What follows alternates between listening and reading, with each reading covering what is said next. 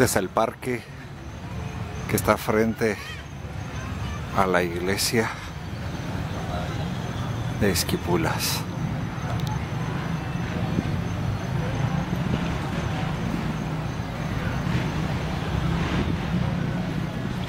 La iglesia del Cristo Negro desde hace más de 450 años, hecho por Felipe de Porres, nieto de Diego de Porres.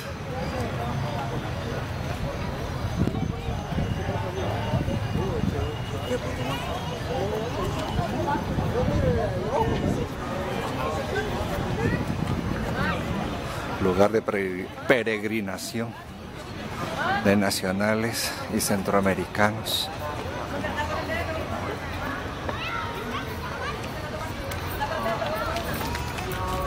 Puesta sobre el cerro de agua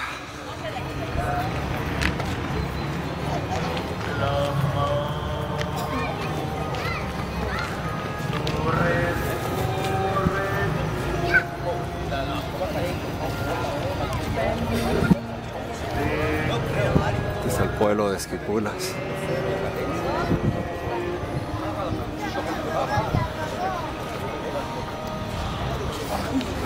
Una obra magnífica de arquitectura.